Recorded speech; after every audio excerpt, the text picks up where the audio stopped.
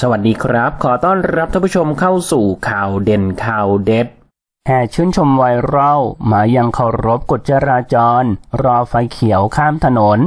ขึ้นชื่อว่ากฎหมายเป็นสิ่งที่ทุกคนในสังคมนั้นๆ ต้องปฏิบัติตามอย่างหลีกเลี่ยงไม่ได้ แต่หลายครั้งคนในสังคมก็มักหาทางหลีกเลี่ยงกฎหมาย เพราะความสะดวกสบายของตัวเอง โดยเฉพาะกฎหมายจราจรที่มักมีคนละเมิดเป็นประจำ ประเทศมาเลเซียหากฝ่าฝืนกฎสัญญาณไฟจราจร ต้องเสียค่าปรับสูงถึง 500 ริงกิต หรือประมาณ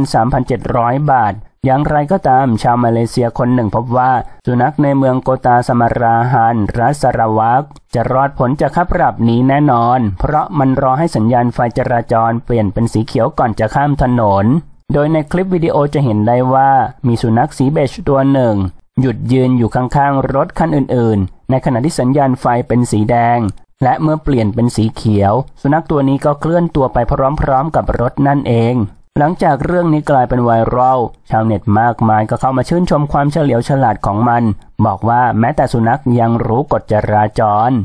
ท่านผู้ชมล่ะครับ มีความคิดเห็นอย่างไรกับเรื่องนี้ลองแสดงความคิดเห็นกันเข้ามาดูนะครับ ขอขอบคุณข้อมูลจากข่าวสด ขอบคุณครับ